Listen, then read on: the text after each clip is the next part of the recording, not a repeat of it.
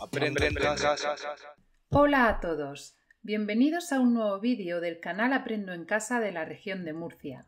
En esta ocasión vamos a hablar sobre la evolución geológica de la península ibérica. El relieve de la península ibérica es el resultado de un largo proceso de evolución geológica, donde las fuerzas tectónicas y la erosión actuaron sobre el territorio.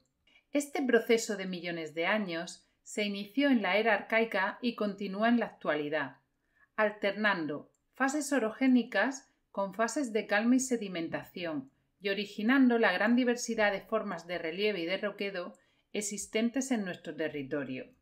En la era arcaica o precámbrico, hace unos 4.000 millones de años, la península ibérica estaba cubierta en su totalidad por el océano, hasta que emerge del mar una cadena montañosa de dirección noroeste-sureste que se extendía por Galicia, sistema central, y algunos puntos en los montes de Toledo y en Sierra Morena.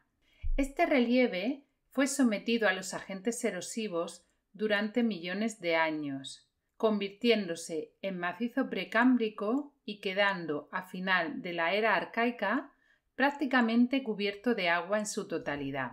Durante la era primaria paleozoico, hace unos 570 millones de años, tendrá lugar otro periodo de formación de relieve, la orogenia herciniana. A lo largo de este periodo, los sedimentos depositados en las fosas marinas se plegarán, dando lugar a una serie de cadenas montañosas que emergen de los mares paleozoicos. Durante la era primaria, estas cordilleras serán sometidas a la erosión, convirtiéndose en macizos.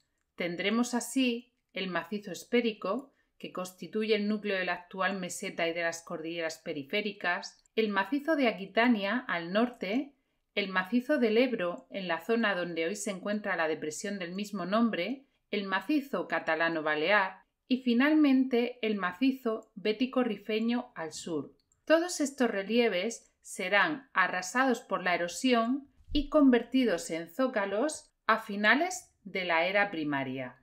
La era secundaria o mesozoico comienza hace unos 245 millones de años y fue un periodo de calma orogénica y sedimentación. En esta época, en el territorio ocupado actualmente por la península ibérica, emergían a modo de islas dos macizos, el macizo espérico y el macizo del Ebro, rodeados por las aguas del antiguo mar del Tetis.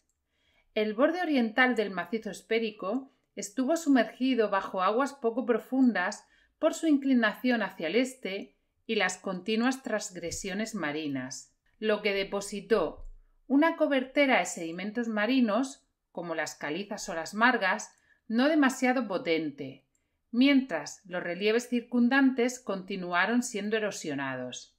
Al norte y al sur de lo que hoy es la península, se localizaban dos fosas marinas, la fosa pirenaica y la fosa bética, donde se depositaron enormes espesores de sedimentos, que en la era terciaria, bajo los empujes de la orogenia alpina, darán lugar a los Pirineos y a las cordilleras béticas. Al finalizar la era secundaria, tenemos por tanto unos zócalos rígidos emergidos formados por materiales silíceos como el granito, y rocas metamórficas como las pizarras o los esquistos, rodeados por mares poco profundos y fosas marinas con importantes espesores de sedimentos.